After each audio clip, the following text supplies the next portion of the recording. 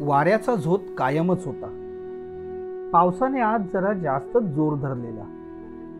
आमच्या सगळ्यांचे पाय चिखलाने पार माखले होते.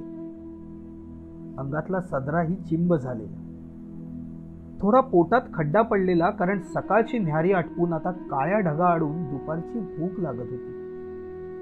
मृदुंगाची थापही आता हलकी झाली. आणि गळ्यातले टाळही आता क्षणासाठी थांबलेले. इतक्या दिंडीच्या म्होरक्याने आवाज दिला. धावा आला. गेलेले प्राण परत आल्यासारखे सगळे एकच धाव घेऊ लागले. टाळ मृदुंग पुन्हा गरजू लागले. सबंध आसमंत विठ्ठलाच्या नावाने न्हावून निघाले.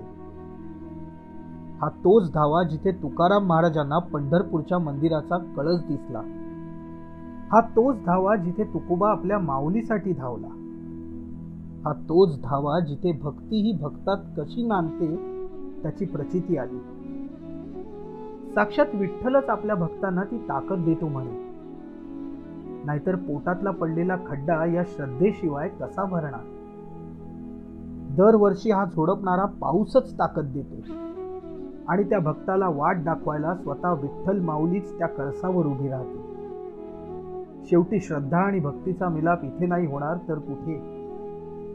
शेकडोंनी गेलेल्या वारीला आजही आपल्या मिठीत सामावून घेते ती माऊली. म्हणून तर दरवर्षी एकही निमंत्रण न देता सारे भक्त एकजीव होतात आणि वाट धरतात ती पंढरपूरची.